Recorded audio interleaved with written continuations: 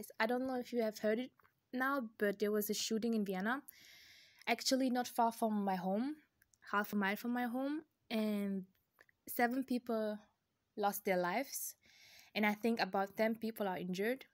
So this is crazy what is happening in Vienna. This is crazy. Like you see, you see in Gambia, the the Muslim and the Christ they live in peace together.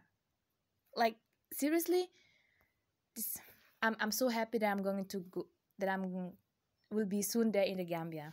So yeah, this is what what is happening in Vienna. I can't believe it. But you know what? It was just a matter of time.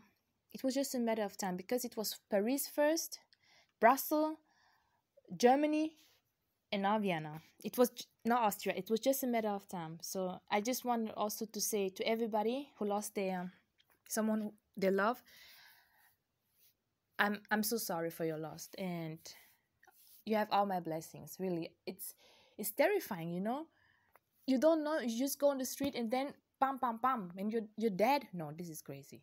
This is crazy. Why can't Muslims and Christians not live in peace like in the Gambia? Why? okay okay guys peace out i i need to to get a, a glass of water bye guys